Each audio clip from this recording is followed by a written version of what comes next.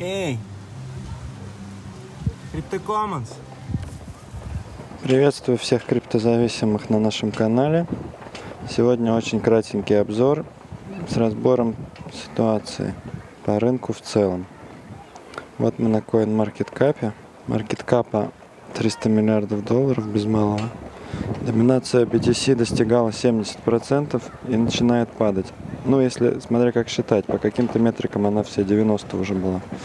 То есть, в принципе, можно говорить, что начинается сезон альтов. Графики все тут похожи, что начинают отрисовывать улыбку чеширского кота вот такую. Как по мне, так все это наверх. BTC, возможно, вниз, потому что BTC перекачали очень сильно. Вот, потом что можно по графику сказать, по основному. Вот у нас дневные свечи.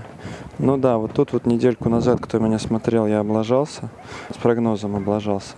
На 9100 говорил, что мы вот в этом нисходящем канале идем дальше вниз, но не тут-то было, нас развернули, хотя в принципе, то есть я мыслил более долгосрочным тайфреймом, возможно это зигзаг, и мы и так и так идем дальше вниз вот сейчас. Так что, в принципе, от своих слов не отказываюсь. Вот куда-то на эти мувинги, минимум на вот этот мувинг мы смотрим, на сотый дневной.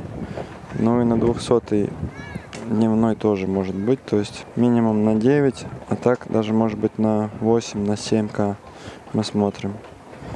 Вот. Это в случае коррекции. Я думаю, что она все-таки будет. Флет какой-то, консолидация перед следующим полетом наверх. Но не забывайте, что мы в булране, вот он начался. Как бы тут отрицать это уже, я думаю, глупо. Хотя есть э, теоретики, которые утверждают, что это все все еще медвежий рынок, и сейчас будет волна С куда-то вот сюда на 2000. Но что-то в это слабо верится, так что дальше идем. Вот, а так в целом по-моему, сезон альтов все-таки начинается. Я в данном случае вот сижу на эфире, на Даше, все как и говорил. Пробую лонговать вот на бинансовском марджине потихонечку. Но это, конечно, очень дикая тема. Кто хочет посмотреть предыдущее мое видео, оно сейчас появится у вас вот здесь.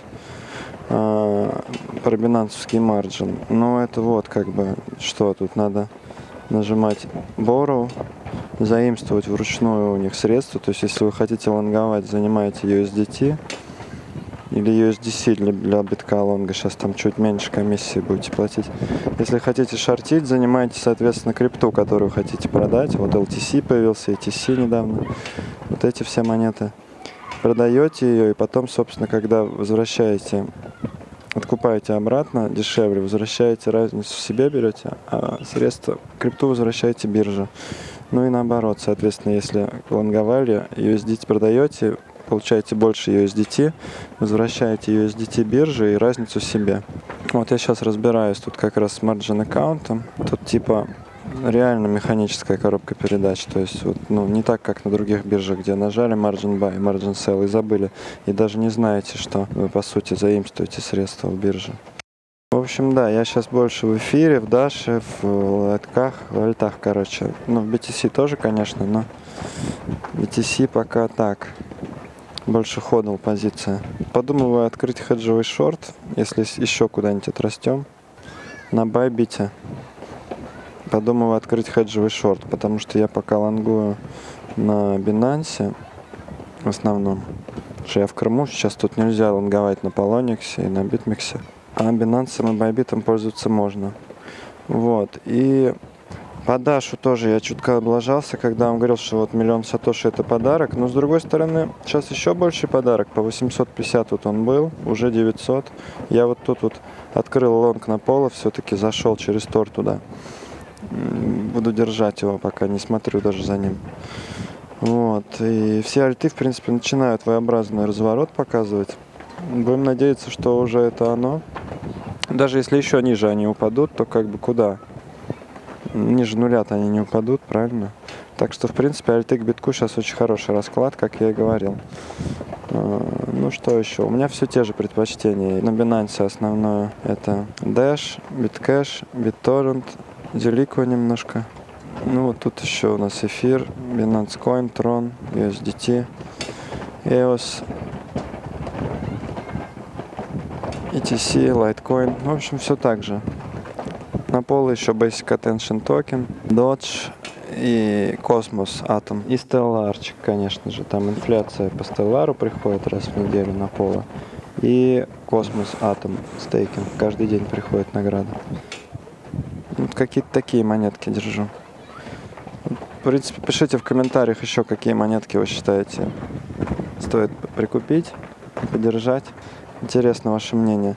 Ну а так в целом, да, не забывайте, что у нас коллаборация с Bybit до 15 августа включительно, то есть еще три дня, ну точнее четыре дня с сегодняшним днем. Торопитесь успеть.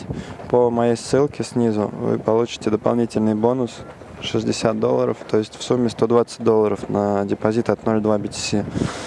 Торопитесь успеть. Этот, на этот бонус вы можете торговать и выводить профит. И после того, как размер комиссии покроет размер бонуса, вы его тоже сможете вывести.